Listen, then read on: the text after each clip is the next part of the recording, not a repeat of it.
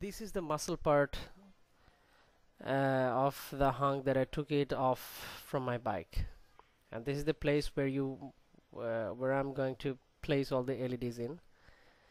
There is a, a, simple black plastic rack which has screwed in here normally. It it's it's a showpiece. It doesn't it doesn't work though it seems like an air ventilation system. It doesn't work uh, anything like that. So I I used that thing as as as the as the holder of my LED set. So uh, after I set my LEDs into the plastic then I put that set into that muscle part. The LEDs doesn't look much from outside when they're turned off but when they glow it will blow your mind now the tricky part is uh, putting all this LED into this plastic rack. I used a couple of Vero board pieces. I soldered all those LEDs uh, into those Vero boards and connected each other with a parallel power cable. I stick the Vero boards with that plastic rack uh, with the Fevicol uh, solution. Now three good things about this solution that they are very easy to remove from there uh, without harming your plastic number two they dry out so quickly. And number three uh, the circuit board won't fall off from the plastic with the with the uh, great amount of jerk of the motorcycle. This is the voltage input cable for that circuit.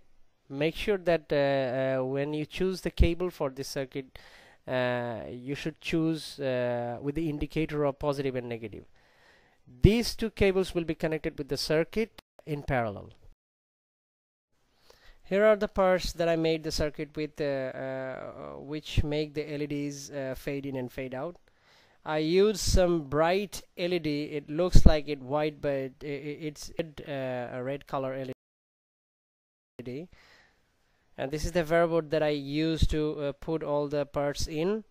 I also use this Vero board to stick all the LEDs in there I used a 9 volt battery to test my uh, LED circuit uh, whether I missed any LED to give power whether any LED got fused or or any any of the LED is not lighting enough uh, just like others. I put one of the part into the muscle and what I'm going to do I'm going to give direct 9 volt power to the LEDs to check uh, the quality of the light. Here it is. It's lighting up very bright red. It seems like working fine.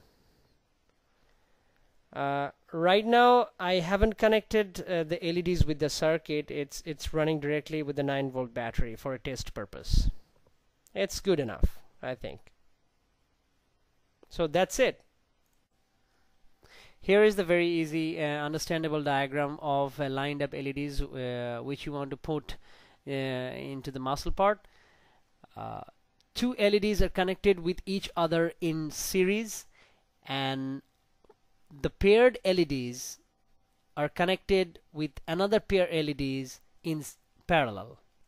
Here you uh, must use a positive and negative indicator cables to connect the LEDs with each other otherwise you might get confused with the connectivity or you get messed up with uh, with all your LEDs